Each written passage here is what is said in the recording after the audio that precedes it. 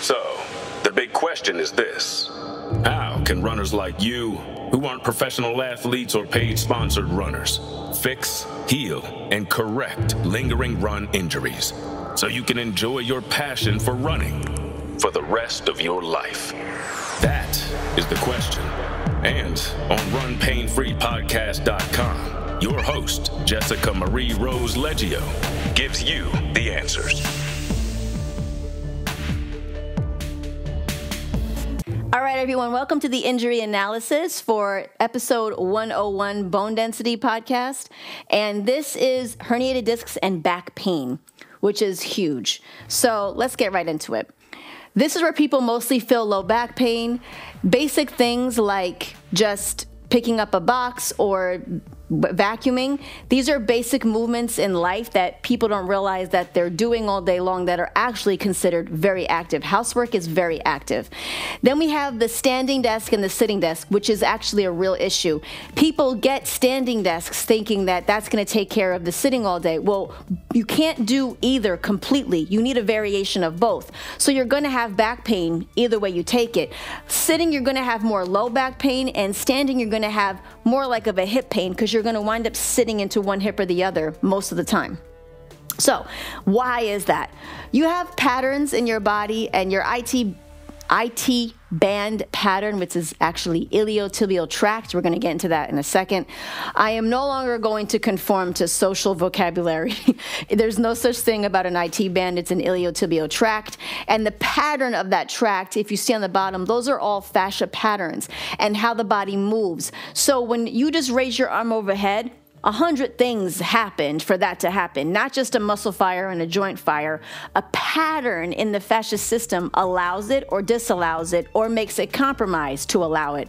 And so at the top picture you'll see you'll see it crossing over so right hip is left shoulder and left hip is right shoulder and the IT pattern actually crosses so it comes from your outer calf all the way up your outer quad, crossing 80% of your glute, and then attaching and going across to your opposite shoulder. So when you pull your left shoulder forward, you're actually tugging on your right hip, on your right knee. And when you pull your left, when you pull your right shoulder forward, you're tugging on your left knee. And that's how that works. So when someone is trying to move basic mechanics, which is walking or running, uh, it's going to pull and tug across that spine. If your spine feels there's an instability, all of the muscles around it are going to lock up to protect it. Why? It is the most important structure in the body, which is more than likely why the spine is where they test bone density and your hips. Those are the two pockets they test. So, here is why it is the iliotibial tract. As you can see, there's no band. That is a that is the top, that is the superficial fascia which you see on the bottom. That is the superficial fascia. That's the one that's over everything right underneath your skin, underneath the dermis, and it's covering everything. That is the knee right there and there is striations of a pattern in this system, all over it. But the IT pattern is the biomechanical pattern of how the body moves, period. So I wanted to show you that. And then underneath, when you take off that top layer of superficial fascia, you then have the deep fascia. Deep fascia is around all of your blood vessels, which is your arteries and veins, your nerves, inside your muscles, and around your joints. That's the second deep layer of fascia. And then the third layer of fascia is visceral fascia. That's the casing of your like the skin of your organs, that's fascia, which are all around in the suspension of the abdominal cavity where they're all sitting and pocketing. I do not believe in digging into the abdomen to dig into that fascia because mm, organs don't need to be touched like that. So we stop at deep fascia and we work on these two things to get feedback from how the body is or is not moving. So I've used this visual a lot, specifically to show how the IT goes into other tissue. I've said it a million times. I have a lot of IT band and runner's knee and all that stuff. I'm going to do a new one coming up, so pay attention to it. But I have a lot of those podcasts, and I say this over and over again. But now you have visuals, and you're going to consistently see this because the more I bang this into your head, the more you're going to stop thinking you snapped your IT band. It's not possible okay? It is a fascial system. And if you did snap your IT tract, you wouldn't be standing at all. Your whole body would just go limp. So it's a system, and its job is to sense hey, that spine is off, so I'm gonna lock everything up. And the number one thing that's going to lock up is your psoas. So in this, you can see what I use this picture for is because I wanted to show you that the diaphragm is right up where the psoas actually starts to attach. Now the psoas, where the top, when it says quadratus lumborum, it's the QL. That is right outside the psoas. The psoas is the long, skinny muscle on either side of the spine. The lumbar spine is totally covered on the outside, not covered, but it's attached, the psoas on the entire outside of the lumbar spine, L1 to L5. The most common discs that get herniated are L4, L5, S1. So down below we have our sacrum, and you can see the psoas comes down either side of the spine and attaches on the inside of the hip. Again, so this is why why the psoas, in my professional opinion, is the most important muscle in the body. It attaches our body top to bottom. It is the number one hip flexor. And if this guy is locked up on your spine, you ain't going anywhere without a lot of pain. So, this is where a lot of stuff people get that are really superficial pains is actually coming from. Why that is, I don't know. Go to runpainfreenow.com, apply for a consult, and I'll figure it out. So, we have this is what I wanted to show you because the spine is the number one protective structure in the body. So this is your second hip flexor, the sartorius. I talk about this a lot too. The funny thing about the sartorius is it never even touches your hip, but it's your second hip flexor.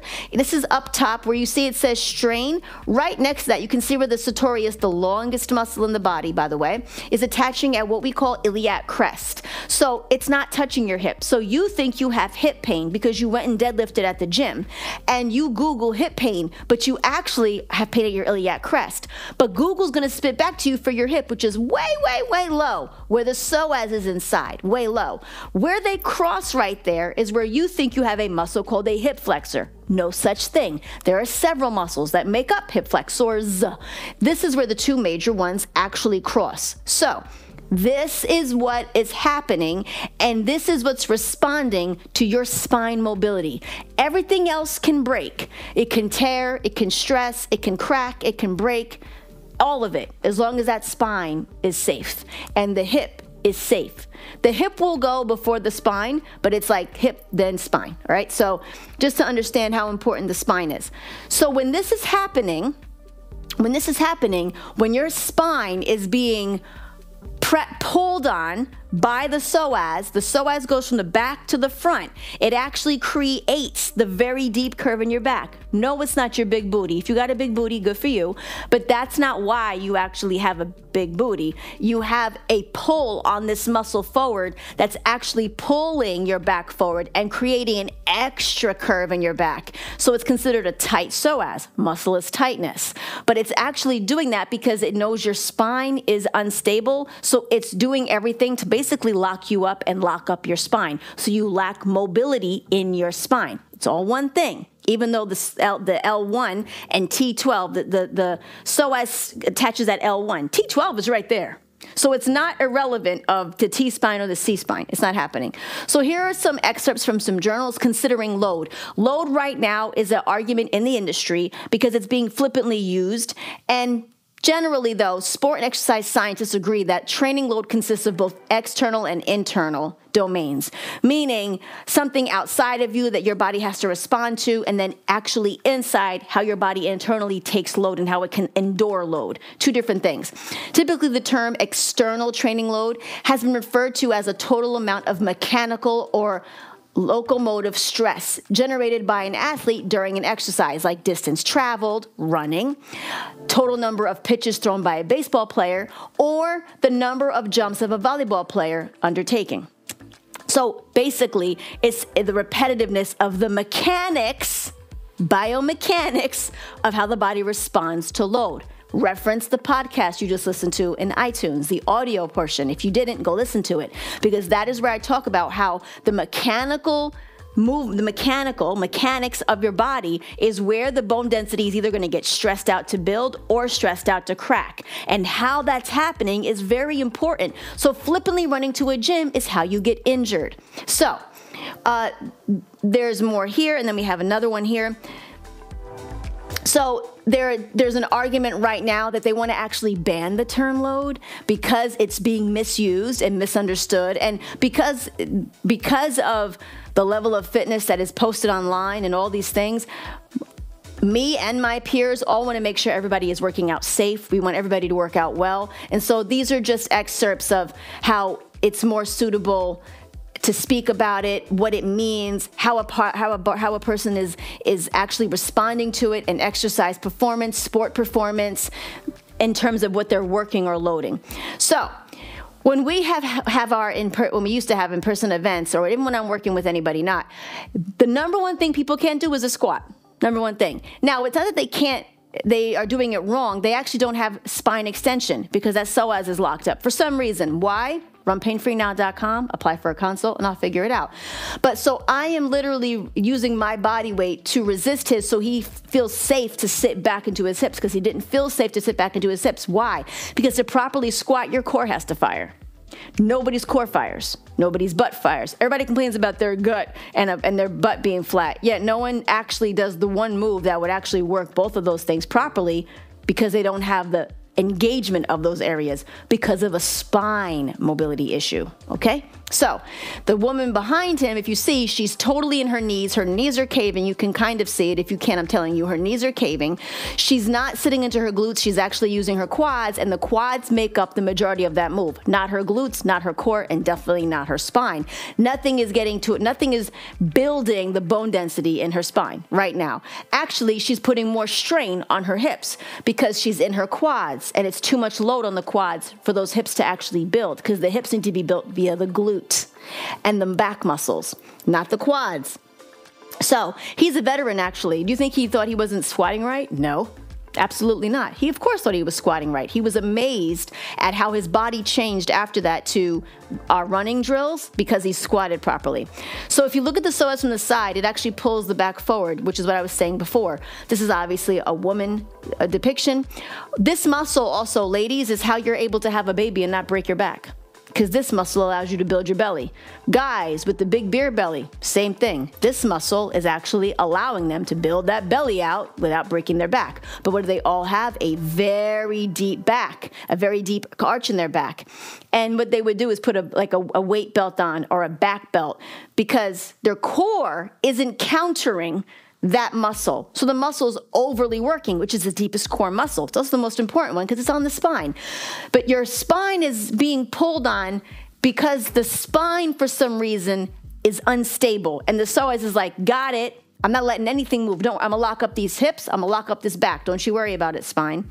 And so this is Scott on the left. He is naturally hypermobile. He is a rock climber. He had excruciating pain, and a training peer that I used to work with, who went on to be a physician's assistant, is his sister in law and was like, You need to go see Jessica right away. He had to get on a plane and travel to Europe, and this is New York City kind of a long flight. So he came to me and he signed up right away, and I worked on him. And he was literally, I was working on him in, in, in, the grass, and he was ripping the grass out of the ground because it hurt so much for me to get it to unlock, to flood the back with blood and get his body like moving and mobility. And he said he felt blood going down his leg for three days straight, and he had never felt that. He went into full blown correction, but look, he could not squat. He's a rock climber. He needs back extension. He needs so, uh, most of my rock climbers actually have all have really bad psoas issues, and it's the upper end of the psoas and all lat and shoulder stuff that they actually they have an overextension of all those joints and no muscle to talk about up there, believe it or not, and very very undeveloped cores. Crazy enough. On our right, we got our guy Julian. Julian was on the table to have a hip replacement, and the surgeon said, "Go see if I'm Pain Free can fix you before I cut you open." Here's the funny thing: the hip they were coming, he was coming to us for that they were saying they were going to actually uh, replace wasn't the issue, it was the other hip. So this is him also learning how to squat. He is a very high ranking officer. He was, he's a retired high ranking officer in New York City. He martial arts for many years. He competed in martial arts for many years. So he overly developed one leg and overly moved another leg. And so that imbalance never jived. And voila, we have a hip dysfunction. Well, he went on to become a full runner. He's running right. He's still with us. He's running anytime he wants. And all of his friends keep getting hip replacements and they're all in a lot of pain. And so he's like, I keep telling you, you got to see run pain free. But these are just basic things. Very active people, very athletic people could not squat right. And so that pain happens over and over again.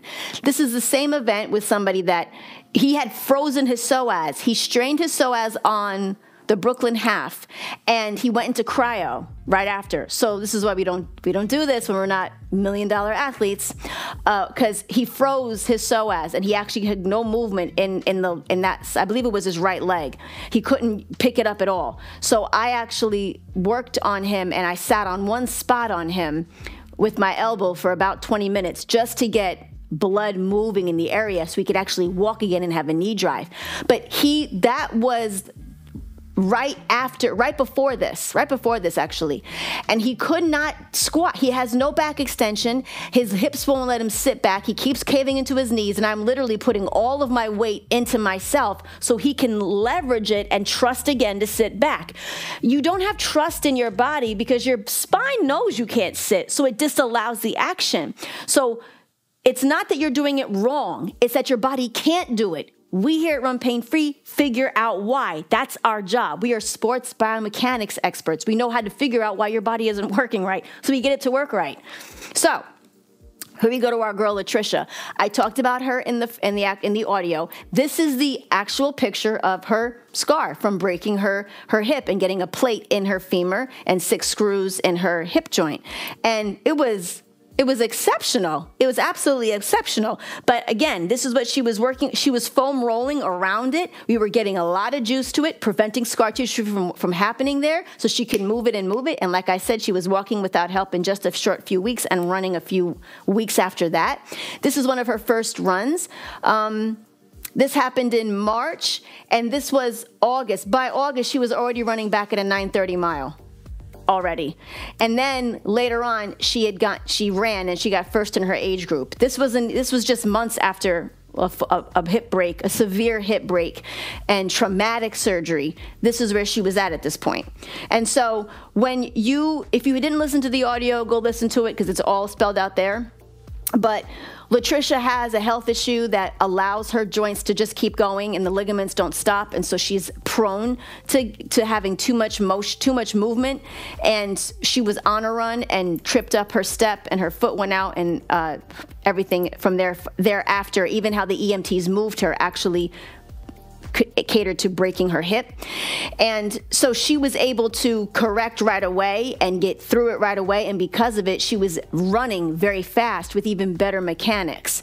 And she, this, this was, this was February of 23 February of 23 this happened. It is March. I'm recording this in March of 24. She already she just ran a half marathon yesterday and ran it in a 212. That's slow for her. But she ran it and this she's run a lot of 5Ks and 10Ks and she's been placing in groups months after the surgery. So, it's not a, an end all when you're injured. But the with when you are doing these basic movements that you would see in a gym, the deadlift is again one of the top ones. The deadlift and squat are the basic moves that everybody actually does all day long. You don't even realize it. And all of them are being done wrong. So let's go over it really quickly. See the girl up top with the with the pink shirt on? She's doing what essentially I think is she's trying to do a stiff leg deadlift. We I stopped doing stiff leg deadlifts with my clients and myself over a decade ago. Well over a decade ago. It's dysfunctional. And some, if you see her back is hunching every time she goes down. So the hunch tells me she can't actually sit into her hips. A proper stiff leg deadlift, you're, you're actually going all the way back and your hips are here and your legs are here and your body is here and it comes up and this. So you can see she doesn't have the extension in her spine, flexion in her spine. She doesn't have the glute support. She actually, her knees are actually bent because she can't, she doesn't have hamstring extension, which is all based on her psoas. Why? I don't treat her. I don't know. I don't treat any of these people that are coming up in this analysis. So I'm just looking at basic movements that I did not have to search that hard for to find bad form. The girl on the right in the, in the, in the blue shirt, you can see she's going down. That's called closed chain. Anything that's a bar across the front, both bottom, all that's all closed chain. Um, she actually never stands up fully. If you look at her, she's just hitting, and she's got about 10% left to go. But that's the same position of washing dishes and doing laundry and cooking. Guess what don't like that? Psoas. Psoas hates it. So that because she's never standing up fully, she'll never fire her glutes, which is what would have to happen for her back to extend and her and her psoas to extend. So she's actually building her back, specifically her lumbar, putting more strain on the spine in an area that's in dysfunction. She's in dysfunction, she's building dysfunction worse. So that's going to create a herniated disc. That's going to create a bulging disc, and it's absolutely going to give her back pain if she's not already in it. The bottom two. Now, the bottom, the one in the middle whenever you do closed chain, something else I also stopped a long time ago, you have to come out of form to get it over your knee. It's very minuscule, and honestly, a trained eye is what's going to catch this. I'm sure everybody watching this that doesn't have a trained eye is like, oh, they're in, they're in good form. They're not. None of them on here are in good form. So, the problem with her on the, if you watch, when she goes when she comes up right there, you could see if you look at her shoulders, there's a little tick where she comes out and down. Look, yeah, where she's almost like body rolling a little bit because she doesn't have the extension to get her legs to keep her hips back so she can clear that bar over her knees. Most people don't. Most people don't. So it's just, and I mean, even athletes don't. So, and the heavier, the worse that is because every time she does that, that little itty, in science, millimeters uh, make a life change. So the, the little jerk of trying to get over her knees, that lumbar spine is jarring is doing that every time. Those the the the discs and the vertebrae are moving in a way that's jarring and dysfunctional with a lot of load. She's got a lot of weight on that thing, believe it or not. That's some nice little stacked weight she's got going on. And now the bottom her knees are bowing out. So the minute her knees bow out, that means her hips are off. If her hips are off, her glutes can't fire. So what's taking that? Her quads. Well, when you build your quads where the psoas comes into inside your hips and the sartorius crosses over, you bulk out the quad. Those two muscles are to our hip flexor muscles and the psoas is, is on the spine.